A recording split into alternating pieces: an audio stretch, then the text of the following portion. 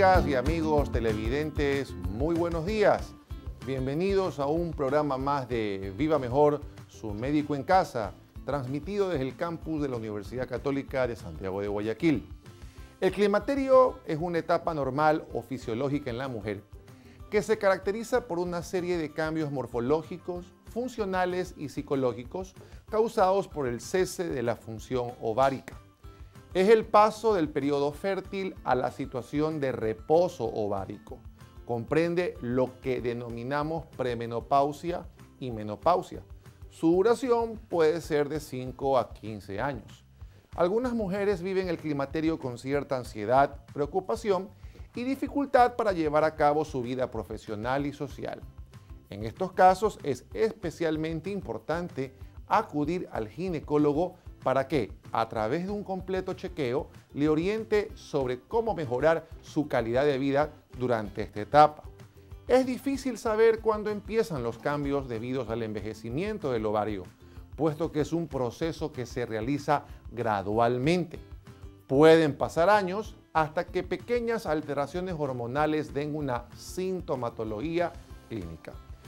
Para entender un poco más de esta temática y despejar cualquier duda de nuestra teleaudiencia, hemos invitado hoy a la doctora Ana Lucía Pesantes, especialista en ginecología, con quien conversaremos en detalle, pero no sin antes revisar la siguiente nota preparada por nuestra producción.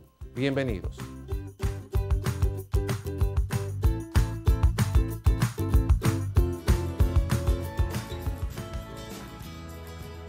Climaterio.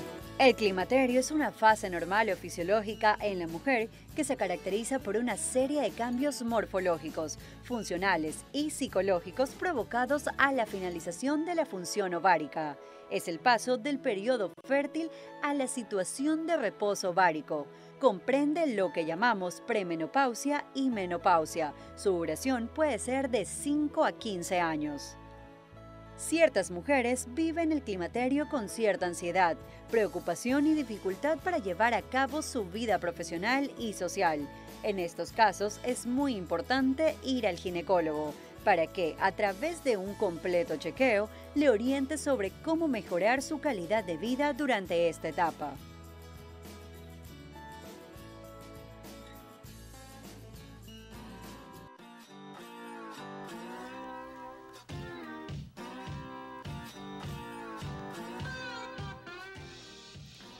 Amigas y amigos, efectivamente, como pudieron ustedes presenciar en la nota que producción hizo hace poco, el tema que vamos hoy a tratar con la doctora Ana Lucía Pesantes es justamente el climaterio. Antes de comenzar a hablar de este tema tan importante, vamos a mencionar datos sobre la hoja de vida profesional de nuestra querida invitada. Podemos ver ahí la doctora Ana Lucía Pesantes Flores, graduada de doctor en medicina y cirugía aquí en la Universidad Católica de Santiago de Guayaquil, Facultad de Ciencias Médicas, especializada en ginecología y obstetricia en el Hospital Regional Teodoro Maldonado Carbó. Actualmente se desempeña como coordinadora del área materno-infantil de nuestra Facultad de Ciencias Médicas, miembro del staff del Centro Médico de Especialidades Salud Familiar y también es miembro de la Sociedad de Patología del Tracto Inferior y Colposcopía. Mi querida Ana Lucía, bienvenida aquí a este tu programa. Eh, para mí es un honor realmente poderte tener este, en este momento como invitada y damos paso pues a conversar de este importante tema del cual se habla mucho, pero también se desconocen muchas cosas. Así es, eh, Ricardo. Primero, gracias por la invitación. Estoy muy gustosa de poder estar aquí contigo. Em, cuando nosotros hablamos de climaterio, como bien dijiste en un principio y en la nota, es una etapa fisiológica. Y, y hay que entenderlo como tal porque existen muchos mitos, muchos temores que puede llegar a tener la paciente durante todo este transcurso de cambios, porque definitivamente existen algunos cambios debido al cese fisiológico de la función del ovario. La gente tiende mucho, Ana Lucía, a usar de modo indistinto el término climaterio y menopausia. Si bien es cierto, están correlacionados, pero no es exactamente lo mismo hablar de lo uno y de lo otro.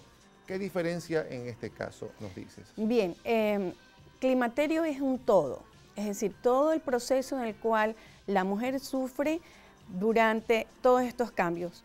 Eh, vamos a encontrar desde el, o digamos, lo podemos dividir en lo que es premenopausia, menopausia y posmenopausia. Es decir, como tú dijiste en un inicio, todos estos años, que pueden ser 10, 15 años de cambios.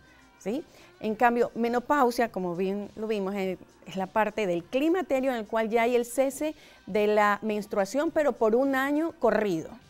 Una vez que ya cesó este año corrido, ya no debe haber un marcha atrás, ya no hay menstruación. De ahí en adelante no debe haber más sangrado en la mujer. Por lo tanto, no es un cese brusco o abrupto como cuando a la mujer le llega, en este caso, por primera vez su menstruación Hablamos ahí de lo que es la menarca o menarquia, ¿verdad? Así es. Igual en la menarca o menarquia existe un periodo de cambio previo, ¿no? cuando recién existe el crecimiento de las mamas, la pubarquia, que empieza a aparecer los vellos púbicos en axila. Entonces, eso es un periodo de, de, preparación en el cual posteriormente va a haber la menarquia. Aquí es al revés, ¿no es cierto? Existen una serie de cambios también eh, y desaparece la menstruación. Estamos hablando que esos cambios es a lo que llamamos nosotros el desarrollo sexual secundario, ¿verdad? Porque es lo que son caracteres sexuales primarios, caracteres sexuales secundarios. Tal vez para que nuestra teleaudiencia entienda un poquito mejor esta terminología, ¿nos puedes tú definir lo que es un carácter sexual primario versus un carácter sexual secundario? Claro, eso estamos hablando durante la etapa de la niñez, ¿no es cierto? Los caracteres sexuales eh, primarios, digamos que son los órganos internos, crecimiento de útero, ovario, y de la función del ovario también. En cambio, los caracteres sexuales secundarios, nosotros vamos a ver el crecimiento de las, de las mamas, ahí la telarquia, entonces eh, primero aparece el, botón mamario, luego hay un aumento del tejido adiposo, de las glándulas como tal, y lo que es la aparición del vello púbico y, del, axilar y otra distribución de, lo que es el vello. Entonces, de ahí, después de un tiempo, viene la menstruación, cuando ya ha habido todos estos cambios o preparación en la niña. Entonces ahí nosotros podemos decir existe un desarrollo total de los caracteres sexuales primarios y secundarios. Podríamos decir en todo caso que el carácter sexual primario es con lo que nace la persona, Así es. propiamente su identidad, su, en este caso el fenotipo, lo que tú ves, ¿ya? y ya el desarrollo propiamente dicho de todos estos órganos, ya cuando estos órganos comienzan a trabajar, a funcionar, a producir hormonas, algunos de ellos como los ovarios, ya estamos hablando ahí de lo que es secundario. Así es la expresión de la función de aquellos caracteres sexuales primarios, es decir, con lo que nosotros nacimos. Y la expresión, ya lo que nosotros vemos, es los caracteres secundarios, aparecen después. Correcto, Ana Lucía. Qué interesante, amigos, todo esto que estamos hablando el día de hoy. Climaterio es el tema que estamos tratando con nuestra invitada, la doctora Ana Lucía Pesantes. Por favor, pedimos a nuestros amigos y amigas que si tienen algún comentario o duda al respecto, no dejen de contactarse a nuestras redes sociales escribiendo cualquier duda al respecto, dando a cualquier tipo o escribiendo algún tipo de consulta que tengan, así como también llamar a nuestros teléfonos que aparecen en pantalla. Ana Lucía, por lo tanto, ¿qué causa todo este cambio? ¿Qué es lo, a qué, ¿Por qué la mujer, por qué esos ovarios, que son el sitio donde se forman, en este caso, las hormonas sexuales eh, femeninas, hablamos de los estrógenos, la progesterona y demás hormonas, llega un momento en que ya esos ovarios comienzan como a atrofiarse un poquito y la función en ellos comienza a decaer. Cuéntanos qué, qué es lo que lleva a este cambio dentro de los ovarios. Bueno, cuando nosotros estuvimos hablando de los caracteres sexuales primarios, ¿no? es decir, con lo que nace la, nena, ya nace con una determinada cantidad de células que son las que van a producir eh, la función o la producción hormonal. Esos son, eh, primero la célula que es la que va a aportar nuestro 50% para un nuevo ser, ¿no? espermatozoide y, y el ovocito, se encuentra este ovocito dentro de una bolsita de, agua, digamos así, que se llama folículo. Nosotros nacemos con una determinada cantidad de folículos. Desde el inicio de nuestro, del vientre materno y se van a formar los ovarios, hay, una cantidad. Dentro de así los ovarios, es. es aproximadamente un millón. Cuando ya viene en la etapa de la pubertad, cuando ya empieza la menstruación, ya en ese transcurso se han perdido, se han atreciado, se han atrofiado, se han desaparecido, digamos así, ¿no? Y quedan aproximadamente unos 400 mil. Correcto. Con cada menstruación eh, existe la formación de varios folículos y de esos uno, primero salen algunos, y de esos uno es el que tiene todas las características necesarias para que produzca una ovulación y si existe un espermatozoide, entonces es un nuevo ser, ¿no? Entonces, durante cada, cada mes se van perdiendo folículos.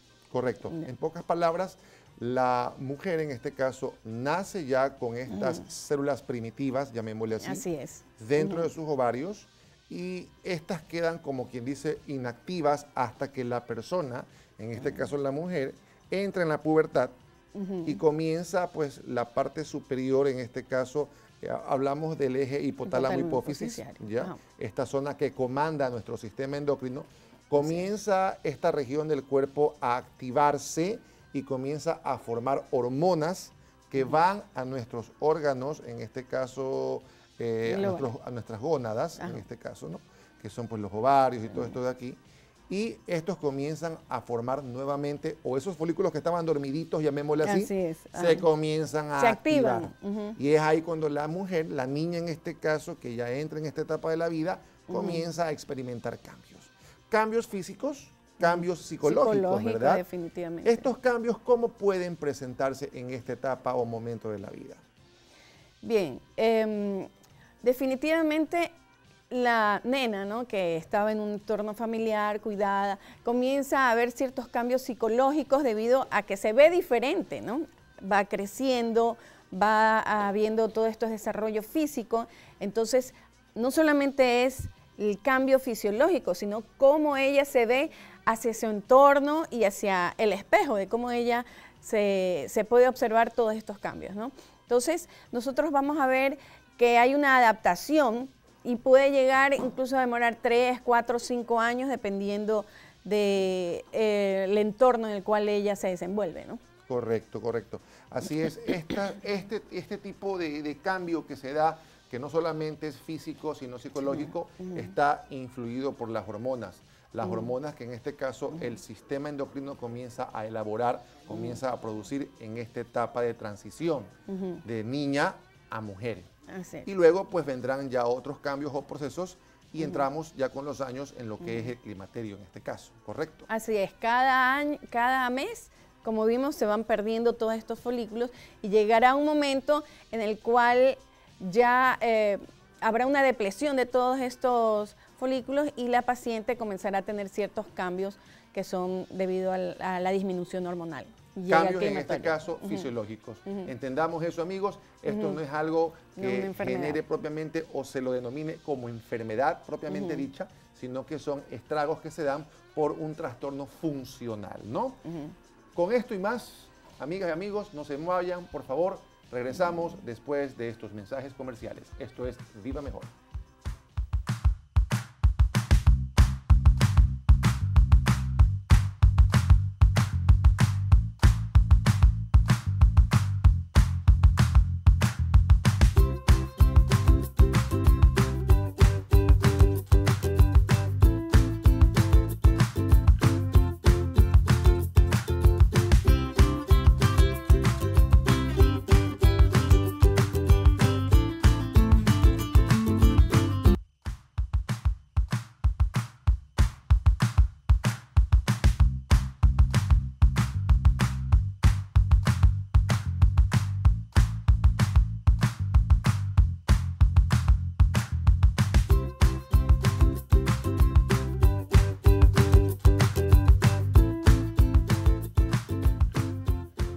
Y amigos, esto es Viva Mejor, su médico en casa, programa que se transmite todos los días a partir de las 9 horas desde el campus de la Universidad Católica de Santiago de Guayaquil. Auspiciante, en este caso tenemos de nuestro programa a Easy Clean, expertos justamente en limpieza de muebles, tapicería, fabricación, limpieza de autos. Las personas interesadas en contactarlos pueden ustedes ver en pantalla cuáles son los números telefónicos y los contactos o direcciones de correo electrónico justamente por redes sociales. Este es un servicio a domicilio garantizado. No se olvide, amiga y amigo, si desea limpiar su casa como es debido o limpiar su automóvil, Easy Clean son los expertos en este caso, ¿no? Bien, Ana Lucía, continuando con nuestra temática del día de hoy, en el bloque anterior, pues hablábamos un poquito de ese desarrollo sexual que es propio del adolescente, de la chica que ya entra en esta etapa de la pubertad, que muchos llaman la preadolescencia, y luego la adolescencia como tal, la etapa en que la mujer ya es, está fértil, también lo sigo, está preparada para poder en un momento dado, pues, desarrollar un hijo, tener un hijo, y luego esta otra etapa, la otra cara de la moneda, que es cuando ya la mujer entra en una etapa en que ya esos ovarios que estaban pues muy activos dejan de estarlo. En nuestro medio o en nuestra sociedad, ¿cuál es la edad promedio o en la que ya frecuentemente la mujer comienza a ver estos cambios producto del cese de la función de los ovarios? Bueno, y en nuestro medio, igual que en la mayoría de las estadísticas que encontramos, incluso en otros países, es a partir de los 40 años. Puede ya haber ciertos cambios, ¿no?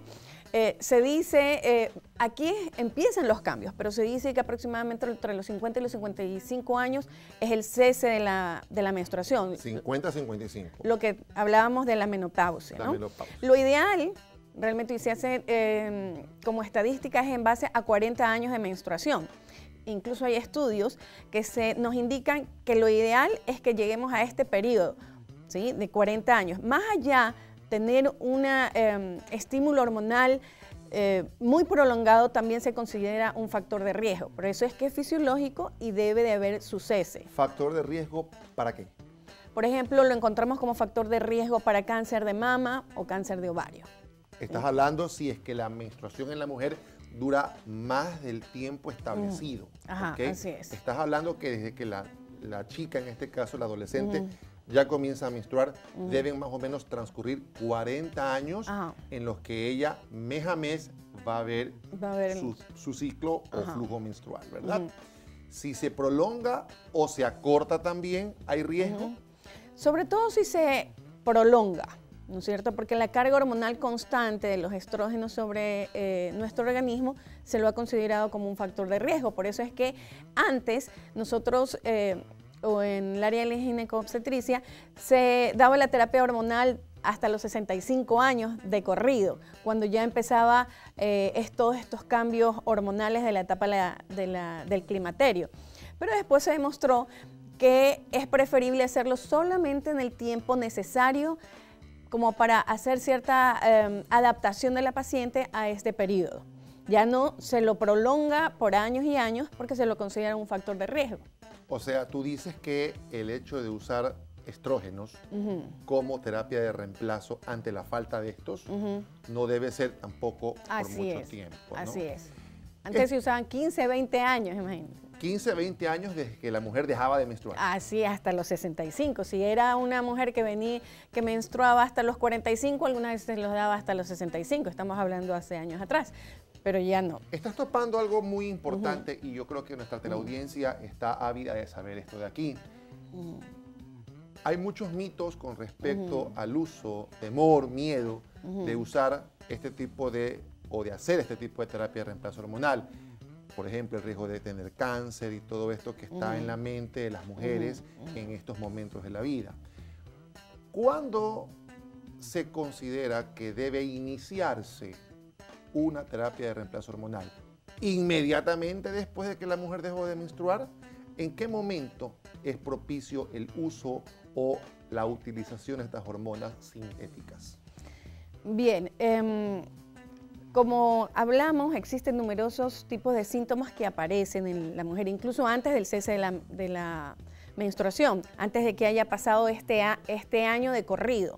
Antes de eso existe trastornos en la menstruación, porque el, el espejo de cómo están nuestras hormonas es qué tan regular somos en la menstruación. Entonces, cuando existe estos trastornos en la menstruación, nosotros ya podemos utilizar em, ciertas cargas hormonales, preferentemente estrógeno junto con progesterona, no hacerlo estrógeno solo, porque nuestro equilibrio es estrógeno y progesterona, de un lado el estrógeno, del otro lado la progesterona, para que no exista estas alteraciones a largo plazo. Entonces, si la paciente como vimos, es normal que exista el cese paulatino de la menstruación. Es decir, puede ser que haya periodos en los cuales menstrue, regrese la menstruación, dos, tres meses, otra vez se, vaya y regrese. O que exista una alteración en el tiempo de duración de la menstruación. Entonces ya no eran tres, sino cinco, siete, o al revés, ya no eran cinco, sino uno. Entonces existen todos estos cambios. Cuando nosotros decimos hay que tratar, por ejemplo, cuando existen hemorragias, cuando está menstruando muy frecuentemente. Abundantemente. En abundantemente y por ejemplo puede ser menstruaciones cada 15 días, cada tres semanas de lo que no era la paciente acostumbrada a tener su ritmo. Estos cambios en el ritmo menstrual se ven ya con normalidad en esta etapa de la vida. Así o sea, cuando ya la mujer está en el climaterio como tal. En esos casos, o sea, eso sería una indicación para que el ginecólogo, en este caso, el profesional experto en esto, sea quien comience un tratamiento, ¿verdad? Así es, sobre todo si existen en aumento, es decir, mayor cantidad de flujo, mayor frecuencia. Cuando existe una disminución en la, en la cantidad o en la frecuencia, nosotros pues no, no interferimos si es que no hay algún otro componente que lo esté eh, influyendo, como ya otro tipo de síntomas vasomotores, los típicos calores que dice la paciente, que como que suda desde el tórax hacia arriba, que se le enciende la cara, que comienza con la sudoración. A eso voy.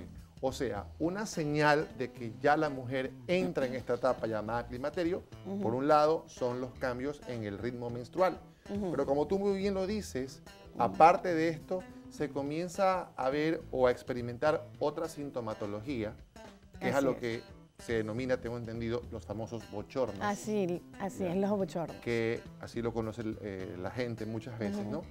Estos bochornos, estos, estos, estos estragos ya que la mujer experimenta, ¿cómo se dan? ¿Cómo pueden ser? ¿Qué, o sea, más de este trastorno menstrual, ¿qué otras cosas puede la mujer experimentar en esta etapa? Ya, como vimos y hablamos que existe el, eje central, ¿no? el eje hipotálamo hipoficiario que está en nuestro cerebro y que comanda la mayoría de las funciones endocrinas, entonces existe eh, en los ovarios una retroalimentación, es decir, el ovario le dice, ¿sabe qué voy a producir? y el eje hipotálamo le dice, manda sus hormonas. Las que comandan el proceso. Así es. Pero ya no tenemos pues acá muchos folículos, entonces eh, existe una alteración también de, ese, eh, de, esa retroalimentación.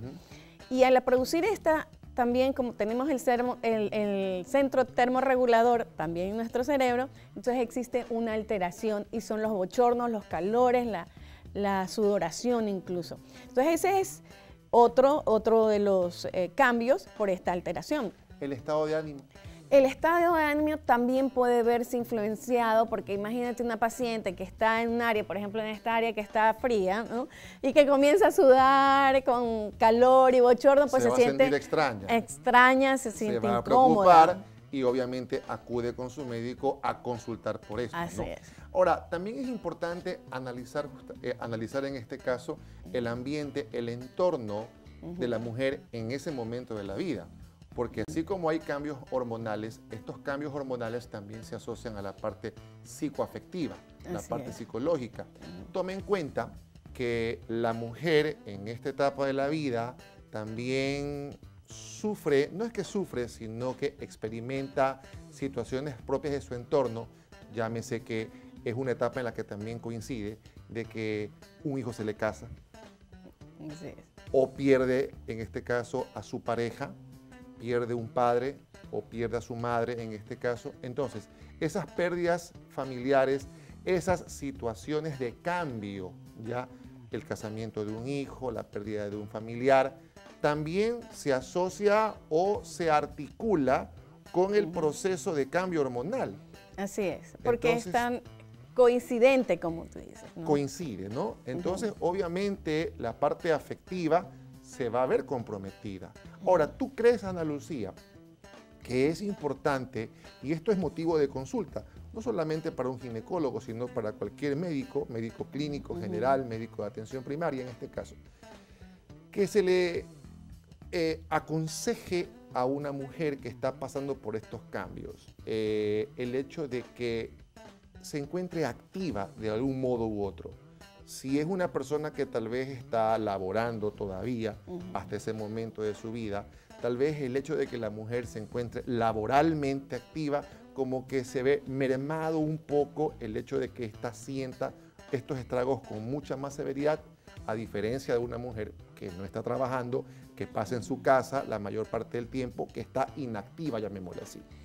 Bien, em, aproximadamente el 80% de las pacientes pueden pasar, no que no lo siente realmente este cambio, pero como en la actualidad la mayoría de las veces ya la mujer eh, está con cierto grado de actividad, ¿no es cierto? Ya sea por su casa o porque está laboralmente eh, fuera de la casa trabajando, está un, sí.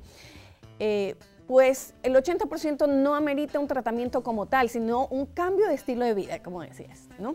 Eh, por ejemplo, hacer ejercicio, ¿no? Siquiera 45 minutos unas tres veces por semana, disminuir ciertos hábitos como alcohol, tabaco, eh, evitar ciertas enfermedades como es las enfermedades hipertensivas o la diabetes o la, obesidad. Entonces, estos cambios que nosotros podemos realizar va a hacer que la paciente se sienta mejor en su entorno y con ella misma. Correcto. O sea, es importante la ocupación para que la mujer, en este caso mentalmente hablando, eh, se sienta más segura, no sienta tanto estos estragos, como tú bien lo dices, ¿no? Bien, excelente mi querida Ana Lucía, creo que este tema es de mucha importancia. Eh, es un tema de, que, debe ser eh, hablado abiertamente. Pienso que la gente desconoce de muchas cosas y eso muchas veces hace que la persona caiga o se presenten ciertos errores muchas veces, ¿no? La mujer eh, no sabe por lo que está pasando, no acude oportunamente con el médico, no consulta a tiempo esto y pueden darse con el tiempo algún tipo de complicaciones también, ya por la falta de cuidado, de atención oportuna que en este caso el médico debe, de brindar a la persona, ¿no? Con esto y mucho más, amigos, regresamos, por favor, no se mueva de sus asientos. Esto es Viva Mejor, su médico en casa desde el campus de la Universidad Católica de Santiago de Guayaquil.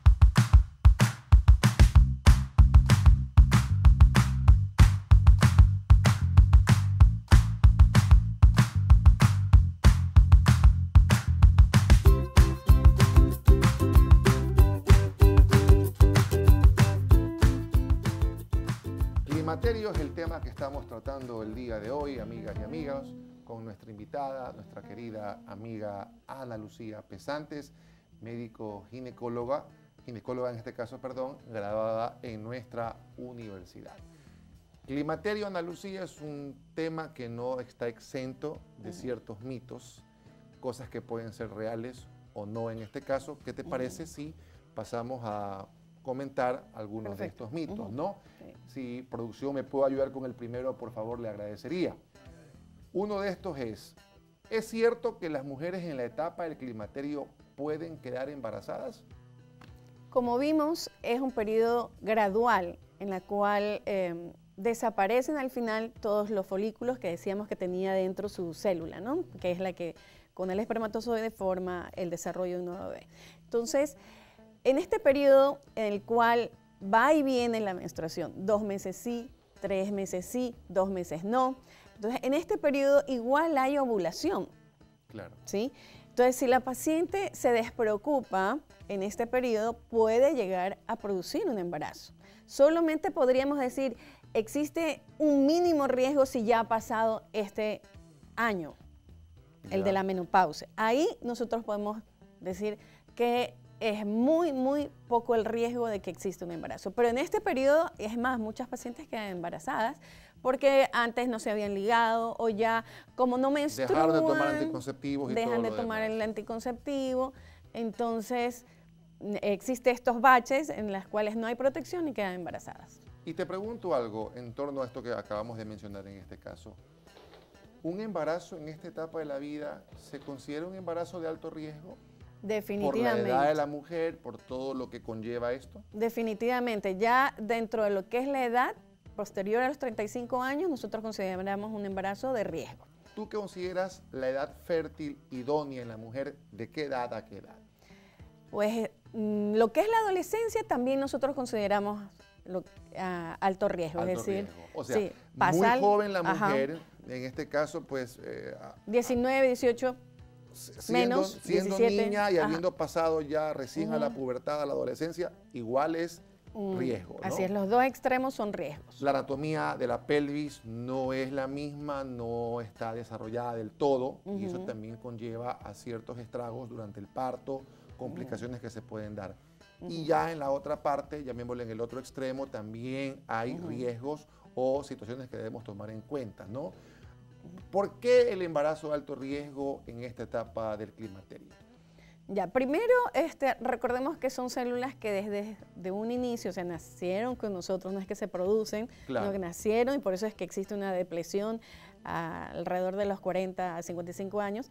Entonces, son células que tienen su edad. Entonces, existe una mayor eh, probabilidad de malformaciones congénitas y en cuanto a la madre como tal, también existe una mayor probabilidad de enfermedades como los estados hipertensivos del embarazo, la diabetes gestacional. La preclancia, que Exacto, así es. Diabetes gestacional. O sea que este mito de que el mongolismo ronda a la madre si ésta llega a quedar embarazada en esta etapa de la vida, sí es. Sí, puede suceder en cualquier etapa, ¿no? O sea, puede ser a los 20, a los 30, a los 35, no es exclusiva, pero se ha visto una mayor probabilidad. Incidencia aumentada de que los niños nazcan con trastornos, malformaciones. Sí, no solamente el síndrome de Down, otros síndromes, ¿no? Que incluso algunas veces no son ni siquiera compatibles con la vida y se producen pérdidas espontáneas, ¿no? Pérdidas espontáneas. Muy bien, Ana Lucía. Qué interesante, amigos, todo lo que estamos hablando el día de hoy. Por favor, Cualquier consulta por redes, estamos atentos a atenderla y a dar, pues en este caso, la respuesta correspondiente. Vámonos con un siguiente mito, por favor, producción, si nos ayuda. Este otro mito nos dice, la soledad me ayudará a sobrellevar la etapa del climaterio. Ya algo de esto hablamos en el bloque anterior. Si nos puedes, eh, en este caso, pues, eh, hablar un poquito más de esto, ¿no? Pues definitivamente no, ¿no? Eh, Considero que la soledad en ninguna etapa de la vida y mucho más en esta etapa que existen cambios en cual la paciente eh, lo asocia a la vejez y no como una etapa de cambio, una etapa de crecimiento, porque toda etapa tiene su, pro, ¿no? Toda etapa tiene su desarrollo, ¿no? Entonces, eh, si va a estar en soledad, pues va a estar más triste, va, y como bien vimos que existe asociación con otro tipo de eventos familiares, le va a poder caer hasta en depresión, ansiedad.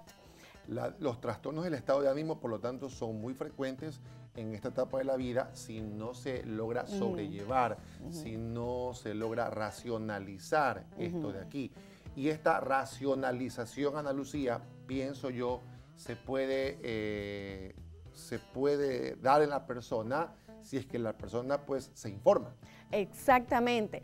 Cuando Acude con el médico, en este caso, para informarse y, de ser necesario, someterse a exámenes médicos y dar inicio a un tratamiento si el caso lo amerita. Sí, algunas veces llegan las pacientes em, preguntando, quieren prepararse para ¿no? esta etapa de climaterio. La primera forma de preparación es la información, ¿no? saber qué es lo que le va a pasar, qué es lo que va a tener, eh, cuáles son estos cambios en mi cuerpo que se van a suceder. Entonces, ya teniendo la información, vamos a saber qué es lo normal y cuándo tenemos que preocuparnos. Y obviamente, esto va en conjunto en los exámenes eh, ginecológicos que uno hace de forma rutinaria, ¿no?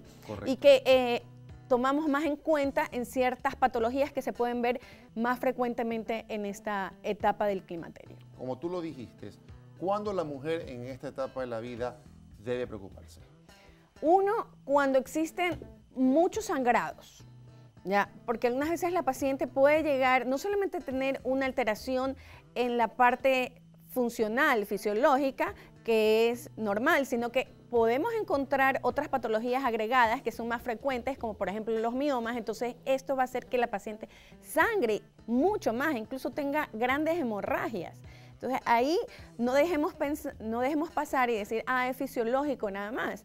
Tenemos que acudir para descartar otras patologías como quistes de ovario, como patologías de mama, que son más frecuentes después de los 45, 50 años.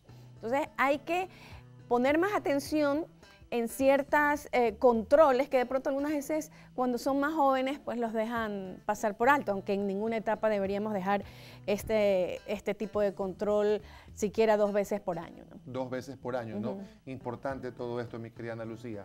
Y este mito relacionado con el cáncer en esta etapa de la vida, ¿por qué hay una mayor incidencia de patología tumoral cuando la mujer entra en el climaterio?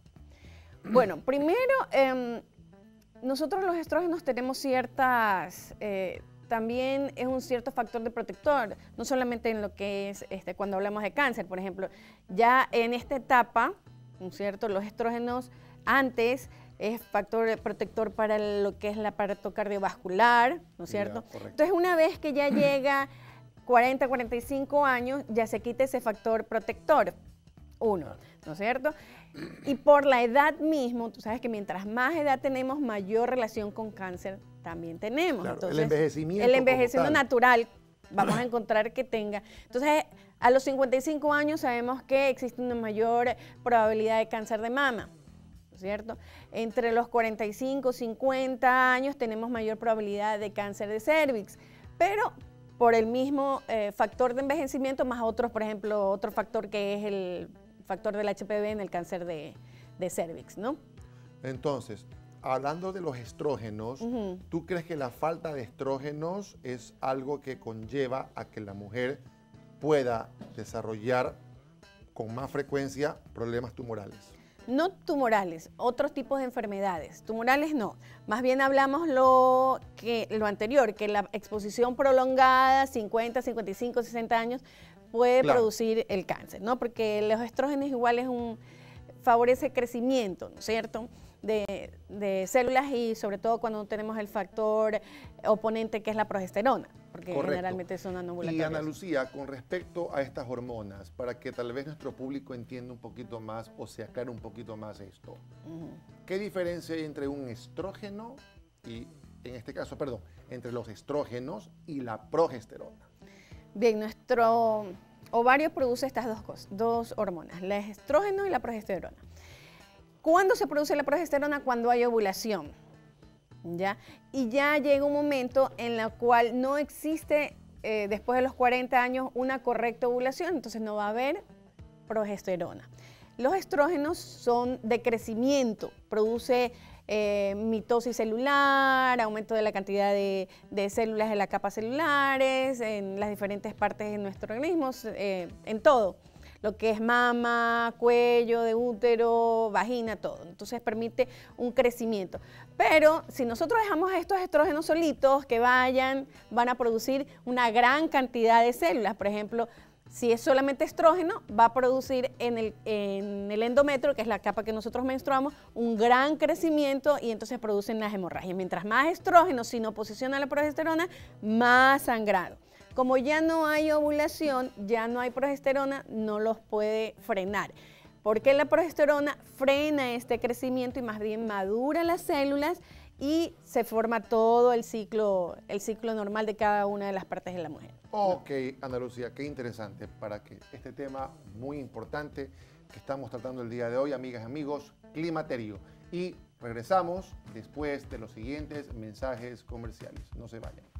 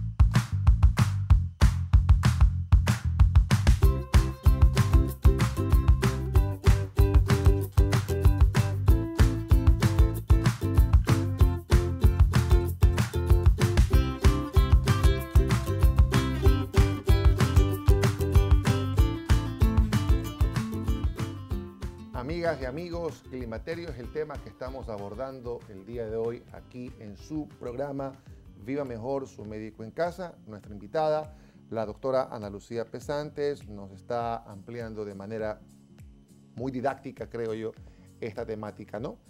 Mi querida Ana Lucía, el climaterio, como bien lo dijimos en el bloque anterior, es algo que, de lo cual la mujer debe estar informada, debe asesorarse correctamente con el fin justamente de evitar que por desconocimiento la mujer piense cosas que no son. Por lo tanto, este es un tema también preventivo, ¿ya? Esa prevención que consiste en el chequeo que la mujer debe tener oportunamente, obviamente esto conlleva al hecho de hacerse exámenes médicos. ¿Qué exámenes debe la mujer cuando ya comienza a padecer estos estragos son los que debe de realizar o el médico debe solicitar? Bien, cuando existe eh, todos estos cambios, y dijimos que también existían otras patologías que podríamos ver en este periodo, entonces tenemos que descartar, eh, descartar la presencia concomitante. Entonces primero, si ya hay alteraciones en la menstruación, y nosotros tenemos que hacer los exámenes hormonales, su correcto papá Nicolau que es anual, una ecografía transvaginal, un eco de mama y dependiendo de la edad, ya la mamografía. Es importante, por lo tanto, antes de que la mujer comience algún tipo de tratamiento sustitutivo hormonal, descartar con estos exámenes, por ejemplo, la presencia de un tumor, sea de útero, sea de mama en este caso, ¿no? ¿Qué pasaría si la mujer, al no hacerse todo esto y alberga, en este caso inconscientemente, algún tipo de tumor, comienza a usar estos estrógenos?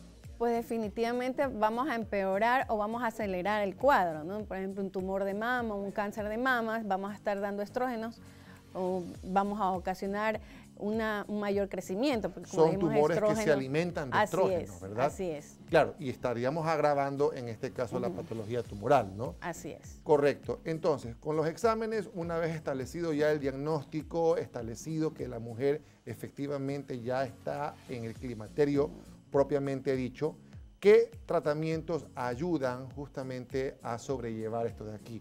¿Qué opciones en el mercado tenemos? ¿Qué opciones terapéuticas al respecto? Bien, em, cuando hablamos de tratamiento, nosotros podemos hablar del convencional, que es la medicina, la sintética, y también tenemos los em, fitoestrógenos, ¿no? que son eh, plantas, digamos así, que tienen una molécula muy similar al estrógeno que nosotros producimos. O sea, estos fitoestrógenos son más alternativas naturales. Así es, son alternativas naturales. Entonces tenemos los sintéticos y tenemos las alternativas naturales. En un momento determinado nosotros tomaremos la decisión de por cuál de las dos eh, opciones, dependiendo de qué es lo que tiene la paciente. Entonces no podemos utilizar solamente naturales si la paciente nos está sangrando mucho por falta de progesterona.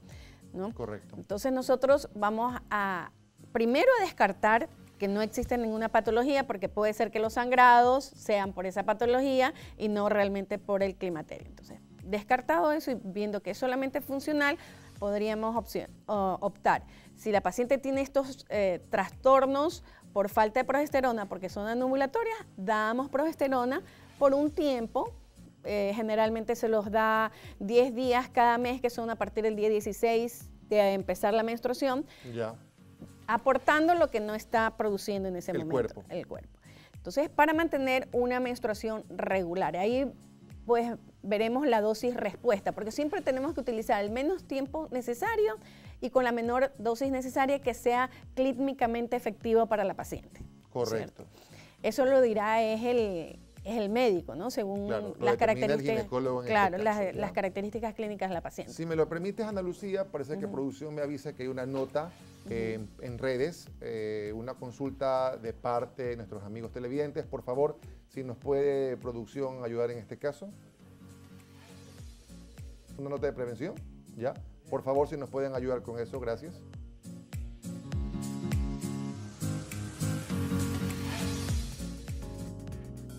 Tips para prevenir el climaterio.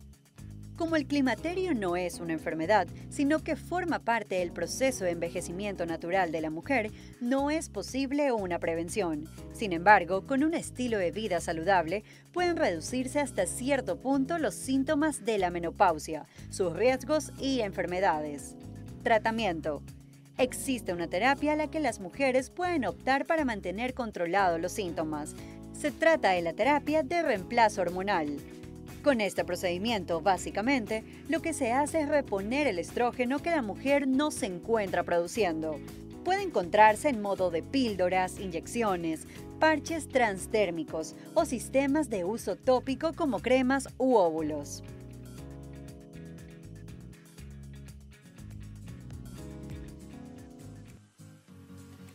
Ana Lucía, como parte de este tratamiento a base de medicamentos o fármacos, la parte nutricional también juega un rol importante aquí. ¿Cómo debe ser el cuidado alimentario que la mujer debe tener en estos momentos de la vida? Bien, estuvimos hablando de los fitoestrógenos, ¿cierto? Que es la forma natural. Nosotros podemos incluir fitoestrógenos en nuestra alimentación, como es la soya, ese es un buen fitoestrógeno. Eh, lo que es semillas de girasol también es una forma de fitoestrógeno. En la actualidad tenemos tantas formas de, soya, ¿no? Que leche la leche de soya, la, carne, de soya, así es. Entonces podemos incluirlo. Ahora, eh, también nosotros tenemos que una de las em, complicaciones o más de una de las consecuencias naturales a, lo largo del tiempo de la menopausia también es la osteoporosis.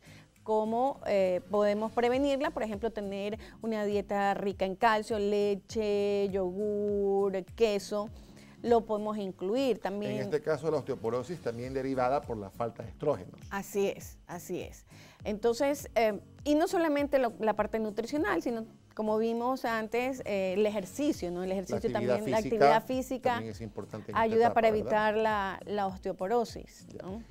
Cuéntame algo, eh, cuando se utilizan métodos anticonceptivos, en este caso pastillas, se habla de la píldora combinada y se habla de la mini píldora, por ejemplo, ¿no? Sí. Y dentro de estos medicamentos, o sea, más bien, estos medicamentos están hechos a base también de hormonas.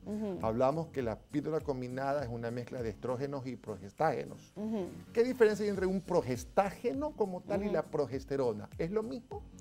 Eh, realmente la progesterona se le habla natural micronizada porque su molécula es más, em, más similar a la que nosotros estamos produciendo, la que nuestros ovarios producen. Entonces la otra, la sintética, son de otros derivados molecularmente que tienen una acción progestacional, es decir, se pueden fijar en los receptores que tienen nuestros organismos sobre la progesterona. O sea, son moléculas similares en este caso, ¿no? Bien. Otro mito importante, que no sé si estará en, este caso en redes, pero creo que es bueno acotarlo.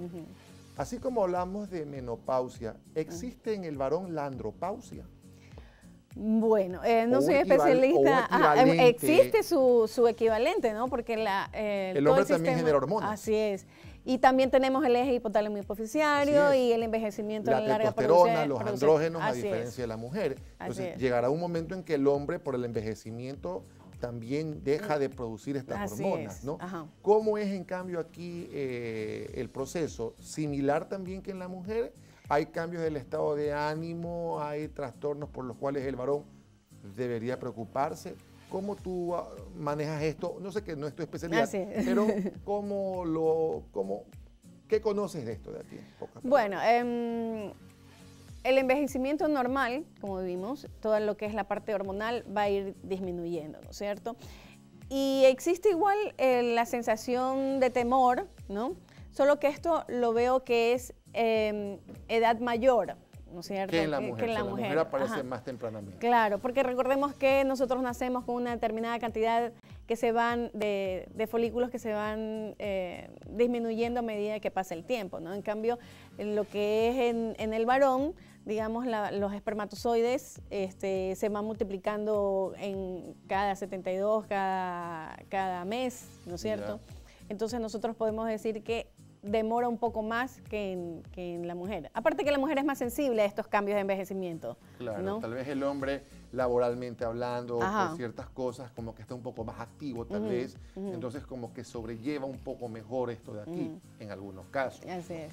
Bien, Ana Lucía, estamos por terminar este programa, ojalá tengamos oportunidad en una próxima ocasión de seguir conversando al respecto. Recomendaciones puntuales para nuestras amigas que nos están escuchando esta mañana.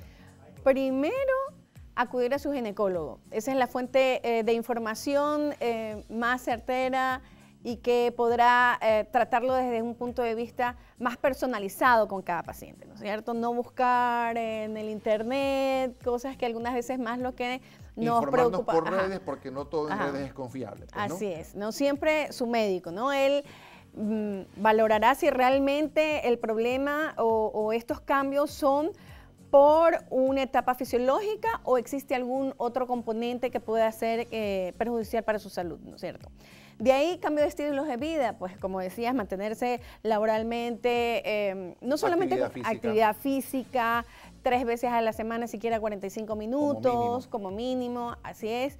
Em, tener hábitos saludables, evitar el alcohol, el tabaco, evitar la obesidad evitar ciertas enfermedades eh, como es la hipertensión, la diabetes y en ciertos casos que ya será valorado con su médico según la sintomatología que tenga, pues la medicación ya sintética. en este caso. Ana Lucía, te agradezco por tu presencia esta mañana. Espero que no sea la última vez que nos veamos. Espero eh, poder participar contigo en próximos programas con temas asimismo de interés en el área ginecostétrica y reproductiva.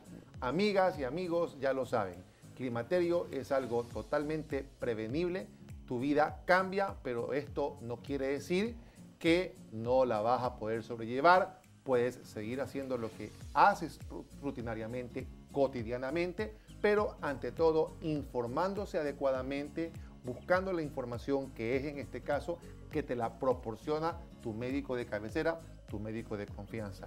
Alimentarse bien, tratar cuando haya que hacerlo y de esta manera tu vida se desenvuelve de manera normal. Amigas y amigos, su amigo tras las cámaras, el doctor Ricardo Loaiza, se despide una vez más y les dice hasta un nuevo Viva Mejor desde el campus de nuestra Universidad Católica de Santiago de Guayaquil. Muchas gracias por su presencia.